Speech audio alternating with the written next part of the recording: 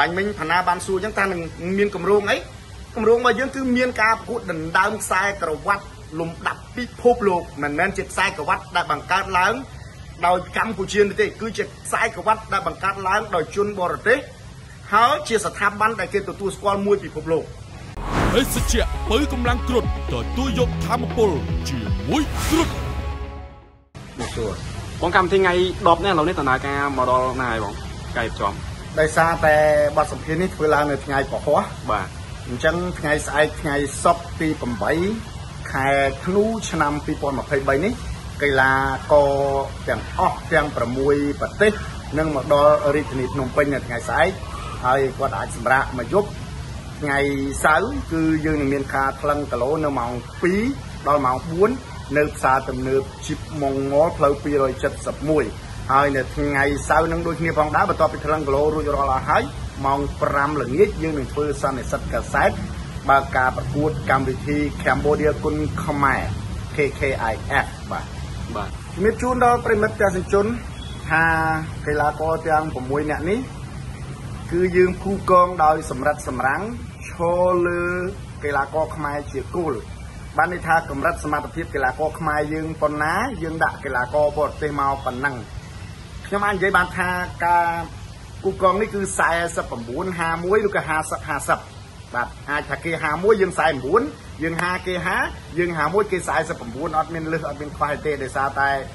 ខ្ញុំបានផ្ចិតផ្ចង់មែនទែនហើយមើលពីសមត្ថភាពការវាយរបស់កីឡាករខ្មែរនិងកីឡាករបរទេសទាំងអស់ហើយខ្ញុំក៏ចាប់ផ្ដើម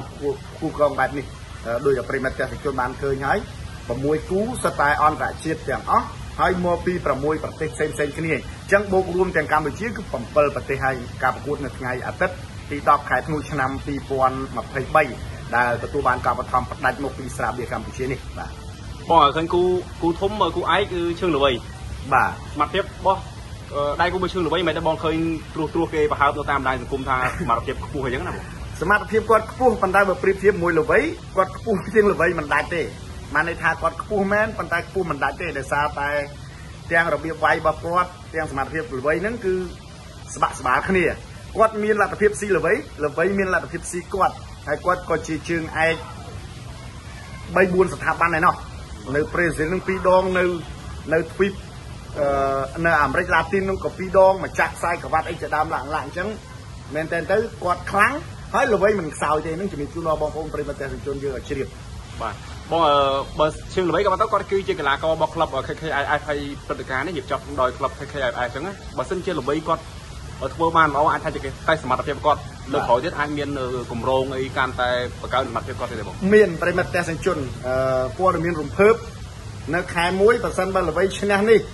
ហើយយើងចាប់ផ្ដើមដំណើរការកម្មវិធីយើងរៀងរាល់សប្តាហ៍អាចថាល្បីនឹងដណ្ដើមខ្សែក្រវ៉ាត់កម្រិតពិភពលោកណាមួយដែលបងប្អូនកាលពីមុនធ្លាប់តែសម័យ ធ្លាប់តែសម័យតែអានឹងវាកាត់ឡើងអត់អានឹងវាកាត់ឡើងអត់ KKIF សហការជាមួយនឹង BKK Sport ហើយដែលទទួលបានការបឋមពីស្រាបៀរកម្ពុជានឹងធ្វើឲ្យវារៀងមានរឿងកាត់ឡើងហើយនឹងល្បីទូទាំងពិភពលោកបើទោះបីជាយើងអាចដដើមខ្សែក្រវ៉ាត់បានឬក៏មិនបានក៏ប៉ុន្តែគេនឹងចាប់ដើមស្គាល់គុណខ្មែរយើងកាន់តែទូលំទូលាយប្រិមត្តទេសជនហើយមិនមែនមិនមែនតែល្បីមួយទេ កីឡាករគុណខ្មែរលំដាប់លំដាប់បច្ចុប្បន្ននេះទាំងតាំងពីគីឡូ45ដល់គីឡូ80នឹងមានលទ្ធភាពប្រកួតដណ្ដើមខ្សែក្រវ៉ាត់លំដាប់ពិភពលោកដោយការនាំមកជូនដោយ KKIF សហការជាមួយ BKK Sport ហើយឧបត្ថម្ភដោយស្រាបៀរកម្ពុជាបាទបងអាចបើហើបទេស្ថាបថាខ្សែក្រវ៉ាត់លំដាប់ពិភពលោកហ្នឹងអាចជាស្ថាប័នដែលមកពីអន្តរជាតិហ្មងឬក៏យើងដូចខ្សែក្រវ៉ាត់ចំនួនដែលដែលបើកម្ពុជាយើងបង្កើតនេះមកពីខាងក្រៅ បាទមកពីខាងក្រៅហើយសុំលាក់សិនអូព័ត៌មានល្អលាក់សិនហើយឲ្យបងប្អូនយើងគេជ្រុលរងចាំតាមដានទេសនាគ្រាន់តែថាស្ថាប័នហើយស្ថាប័នល្បីយើងស្គាល់ធំមកណាអឺបងប្អូនយើងរាប់មើលខ្សែក្រវ៉ាត់លំដាប់ពិភពលោកដែលល្បីល្បីបច្ចុប្បន្នខ្សែក្រវ៉ាត់លំដាប់ណាខ្លះមើលអឺផាណាអាចរៀបរាប់ពី3 4 5មើលបើត្រូវក៏ត្រូវមិនត្រូវក៏អត់ហ៎ទេបងអត់អីចាំបងលុកសុនណាដឹងថាធំមើលបីបងណា ធំបាទធំបាទអាចដើមឆ្នាំក្រោយបងណាអាចដើមឆ្នាំក្រោយជំរឿការសហការរវាងអឺ KKIF BKK ជាមួយនឹងស្រាបៀរកម្ពុជាសិនយើងមានកម្មវិធីបន្តបន្ទាប់ព្រោះអីយើងចាប់ផ្ដើមធ្វើមួយសប្តាហ៍នេះគគឺដោយសារតែយើងមិនទាន់គ្រប់គ្នាបានន័យថាការងាររបស់យើងចាប់ផ្ដើមជំហានដំបូងអញ្ចឹងបើយើងជោគជ័យគឺប៉ុណ្ណាយើងមានការប្រកួតរៀងរាល់សប្តាហ៍ហើយការប្រកួតដ៏ធំទៀតនឹងវាយទូទាំង25ខេត្តរាជធានី ហើយវិសាលភាពនៃការផ្សាយនោះក៏ទូលំទូលាយដោយដែលជំរាបជូនដល់ប្រព័ន្ធផ្សព្វផ្សាយនៅពេលកន្លងមកគឺយើងផ្សាយចេញដំណើរគ្នានៅ192ប្រទេសបាទបាទអឺរបៀបធ្វើការងាររបស់ KKIS អឺអឺដែលមានលោកអញ្ញាស្រីចន្ទខលោកជាប្រធានក្លឹបហើយនិយាយដោយឡែកគឺខ្ញុំបានផ្ទាល់បើធ្វើដូចគេខ្ញុំអត់ចង់ធ្វើហើយណាមួយទៀត ពេលនេះខ្ញុំឧស្សាហ៍និយាយប៉ុន្តែប្រិមត្តទេសនិជនយើងក្រៃលោគាត់ផ្លិចឬក៏គាត់មិនបានចាប់អារម្មណ៍បាទគោលដៅរបស់យើងគឺគ្មានការប្រកួតប្រជែងជាមួយនឹងអ្នករៀបចំការប្រកួតបដាល់នៅក្នុងស្រុកទេគោលដៅរបស់យើងគឺធ្វើការប្រណាំងប្រឡងប្រណាំងជាមួយនឹងកម្មវិធីល្បីល្បីលំដាប់ពិភពលោកនៅឯខាងក្រៅប្រទេសអញ្ចឹងមិនមិនមិនបើខ្ញុំជម្រាបជូនម្ដងទៀតហើយហើយការផ្សាយនេះបានទលំទលាយបងប្អូនប្រកាសជាយល់អីដែលយើងចង់ធ្វើបាទ បងអញ្ចឹងហើយយើងព្យាយាមផ្សាយឲ្យខាងក្រៅឲ្យបានច្រើនបច្ចុប្បន្ននេះយើងផ្សាយមើលឃើញតែនៅក្នុងប្រទេសកម្ពុជា ហើយនឹងប្រព័ន្ធ social media តែប៉ុណ្ណោះប៉ុន្តែសម្រាប់ក្រុមយើងយើងប្រឹងប្រែងពីមួយថ្ងៃទៅមួយថ្ងៃនេះដើម្បីឲ្យប្រទេសទាំង192ដែលយើងមានទំនាក់ទំនងរួចហើយហ្នឹងគឺបានឃើញតាមរយៈកញ្ចក់ទូរទស្សន៍ហើយជំរាបជូនបងប្អូនយើងខ្ញុំបងប្អូនប្រហែលជាចំណាំឃើញខ្ញុំចេញទៅក្រៅប្រទេស ទៅប្រទេសនេះប្រទេសនោះលោកអញ្ញាស្រីកន្ធនទៅប្រទេសនេះទៅប្រទេសនោះការងារដែលយើងទៅកន្លងមកគឺទៅដើម្បីយក192ប្រទេសយកមកជូនដល់ប្រិមត្តទេសជនបានជ្រាបតែប៉ុណ្្នឹងឯងបាទបងចង់ព្រឹត្តិការណ៍ថ្ងៃ10យើងនេះអាចថាចាត់ទុកថាជាព្រឹត្តិការណ៍មិនហើយថ្ងៃក្រោយទៅយើងអាចមានទស្សនវិស័យក្នុងការអភិវឌ្ឍកម្មវិធីនឹងទៅកម្រិតណាទៀតបងពិតណាស់បើយើងចង់ប្រកួតប្រជែងលំដាប់ពិភពលោកឬក៏លំដាប់ខាងក្រៅយើងត្រូវចាប់ផ្ដើមមួយដ៏ល្អ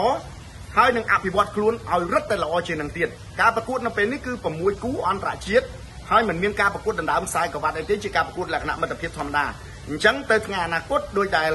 បាញ់មិញផាណាបានសួរអញ្ចឹងថានឹងមានកម្រងអីកម្រងរបស់យើងគឺមានការប្រកួតដណ្ដើមខ្សែក្រវ៉ាត់លំដាប់ពិភពលោកមិនមែនជាខ្សែក្រវ៉ាត់ដែលបង្កើតឡើងដោយកម្ពុជាទេគឺជាខ្សែក្រវ៉ាត់ដែលបង្កើតឡើងដោយជនបរទេសហើយជាស្ថាប័នដែលគេទទួលស្គាល់មួយពិភពលោកបាទអឺ សង្ឃឹមថាវានឹងក្លាយជាកម្មវិធីមួយដែលបង្កើតមោទនភាពបែបណាសម្រាប់ប្រជាជនខ្មែរជាពិសេសគុណខ្មែរបងប្អូនតាមពិតទៅកម្មវិធីនៅក្នុងស្រុកនាពេលបច្ចុប្បន្ននេះបាននាំមោទនភាពជូនប្រទេសជាតិនឹងយ៉ាងមហាសាលរួចមកហើយប៉ុន្តែកម្មវិធីយើងគឺដោយសារតែយើងមានដៃគូធ្វើការខាងក្រៅច្រើនយើងសង្ឃឹមថាពេលដែលយើងផ្សាយលើកនេះទៅទៀតហើយនឹងបន្តបន្តទៅថ្ងៃអនាគតខាងក្រៅប្រទេសគេកាន់តែស្គាល់យើងបាទខាងក្រៅប្រទេសគេកាន់តែស្គាល់យើងបើគេស្គាល់យើង ហើយគេចាប់ដើមទទួលស្គាល់ហើយគេចាប់ដើមសាទរនឹងយើងសួរថាគុណខ្មែរយើងទៅមុខកម្រិតណាអញ្ចឹងយើងទាំងអស់គ្នាកំពុងរួមចំណែកធ្វើឲ្យកម្ពុជាមានមោទនភាពទាំងអស់គ្នាមិនថាខ្ញុំមិនថា promoter ផ្សេងផ្សេងនៅកម្ពុជានោះទេបាទបាទភេសជ្ជៈបើកម្លាំងគ្រុតទទួលយកធម្មពលជាមួយគ្រុត